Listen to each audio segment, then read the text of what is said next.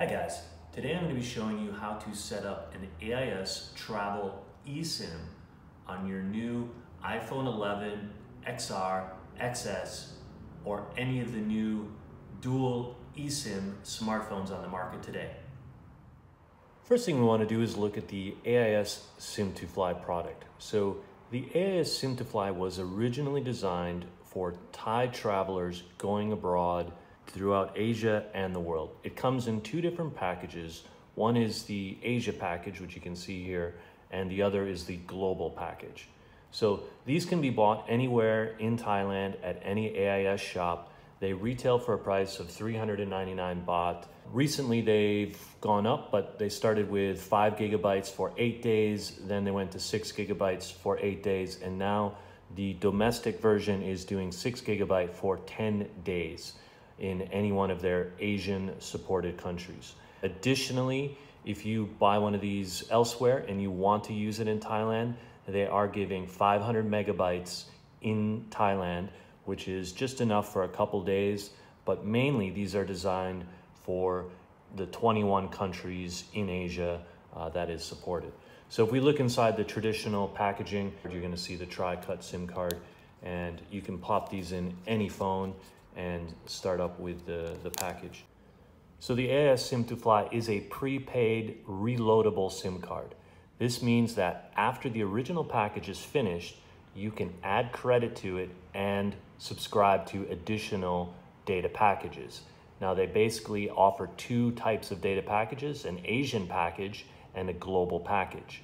So if you'd like to continue to use the SIM2Fly after the first package is complete, what you need to do is you need to load up an additional amount of credit and then subscribe to whichever package, the global or the Asian package uh, that you'd want to continue with. And you can keep doing this for as long as the SIM card is valid and then just load the credit up right before your trip and subscribe to the data package for the country that you'll be going to. The process for reloading and subscribing to a new package is quite simple. What you'll need is you'll need the phone number which is listed here, or if you don't have the packaging anymore, you can simply dial star 545 hash and press send. That'll pull up a dialog box which will show your SIM's phone number. You take that phone number, you can take it to any of the online recharge websites, or you can go into the AIS app if that works for you, after you've loaded the credit, you can now use a USSD code to subscribe to the package of your choosing. I'll put a link to all the packages in the show notes and I'll show it up here on the screen. So let's say you want to choose the two day, one gigabyte Asian package. So you just need to make sure you've loaded the appropriate amount of credit for the cost of the package and then just enter the USSD code. So now let's look at the eSIM side of how to get the SIM2Fly SIM. So the first thing you need to do is acquire a SIM2Fly QR code. Now, if you do it from an AIS shop, you're gonna get a printout that looks something like this with a piece of paper and a, and a QR code. If you do it online, you might get something similar. Uh, but the payload for the information you need is going to be in the form of a QR code. So I have here a iPhone 11. So what I've done is I've taken a photo on another device just to give an example. So let's, uh, let's start with going to settings. In settings, we're going to go to cellular and then here we'll see add cellular plan. So this refers to the ability to add a data plan. Now I noticed that in addition to going this route, there's also the ability to use the QR code scanner and this will work as well if we hold the QR code over here. It'll basically pop up a little, little message and it'll let you go and install cellular plan. But let's just go the original route here and we will do it the old fashioned way. So let's click on add cellular plan.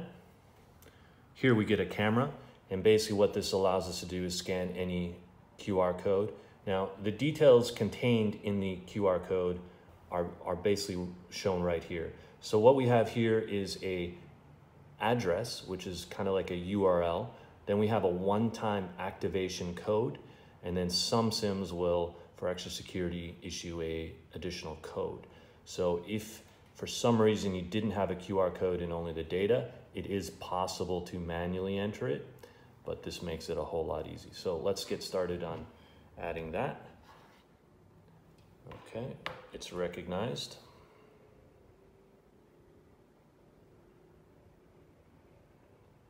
Okay, took a little while.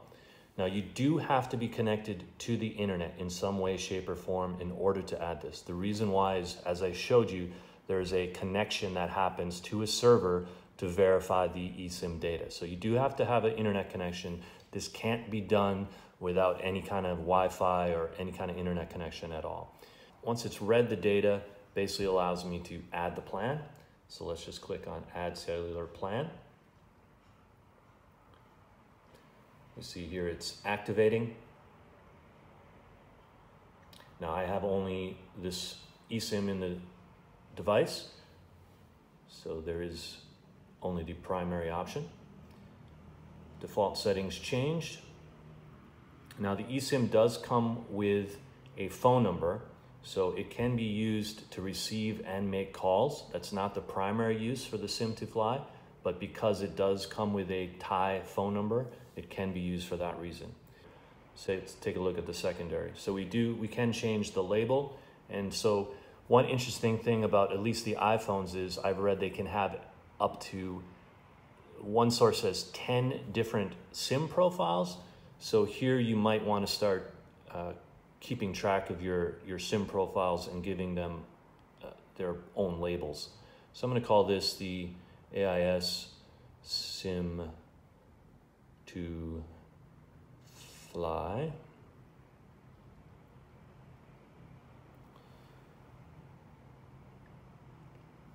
And there now we have the correct label, okay?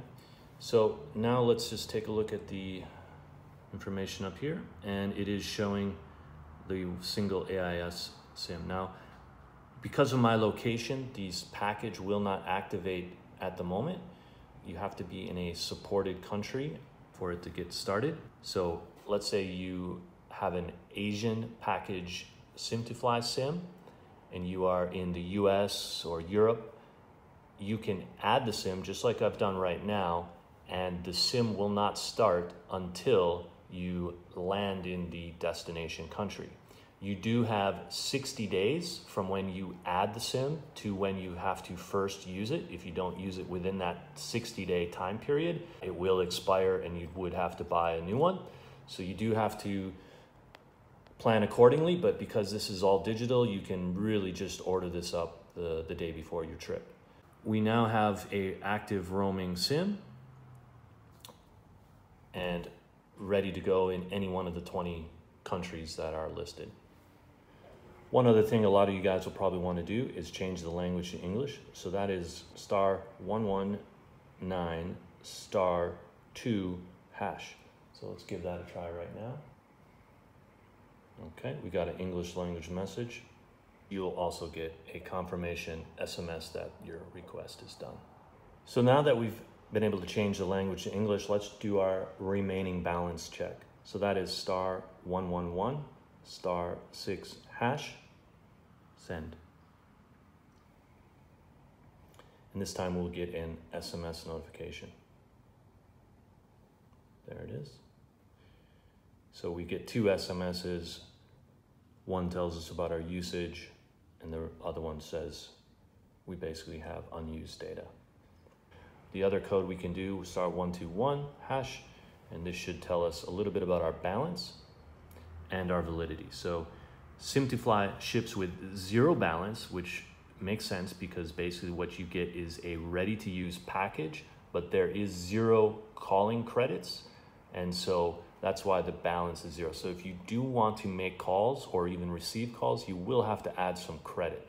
Now, most people are doing calls through through the internet, so they really don't need this. But if you do want to receive SMSs and calls, you will have to add some credit. The other thing to check here is your validity date, if I don't use this SIM at all, this SIM will expire and not be usable anymore after February 22nd, 2020. If I wanted to extend this, I can add any amount of credit, but the smallest amount, the better. So I could go online and say add 20 baht credit, and that would give me one month. And if I did that several times, I could extend this all the way out to 2021, giving me one year in which to keep the SIM profile here on the iPhone. So that's it, guys. Hope that was useful, and I hope you can save a few bucks on one of the cheapest Asian roaming SIMs around. Any comments or questions, leave them below. I'll do my best to answer.